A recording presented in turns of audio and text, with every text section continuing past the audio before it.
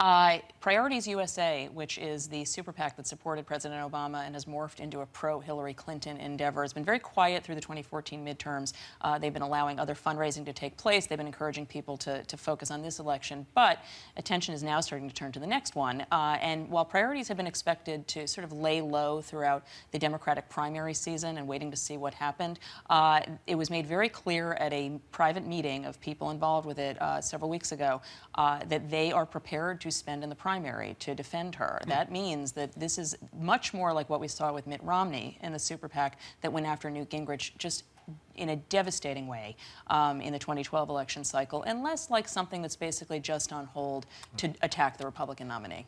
An offensive weapon, That's not right. just a friend in waiting. Precisely. And another, sig- another signal she's running. Peter.